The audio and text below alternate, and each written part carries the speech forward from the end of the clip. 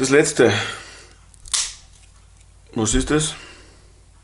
Eh klar, ein Doppelbruch.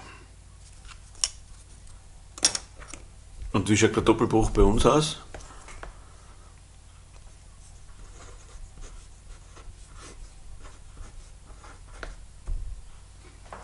Bruch dividiert durch Bruch.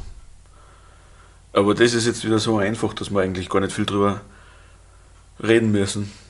Weil den großen Bruchstrich, den schauen wir uns einfach an wie ein Divisionszeichen.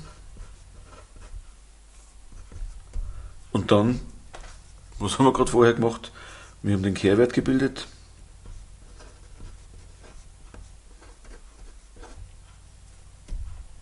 Und wie funktioniert das dann? Zähler mal Zähler, Nenner mal Nenner. Fertig.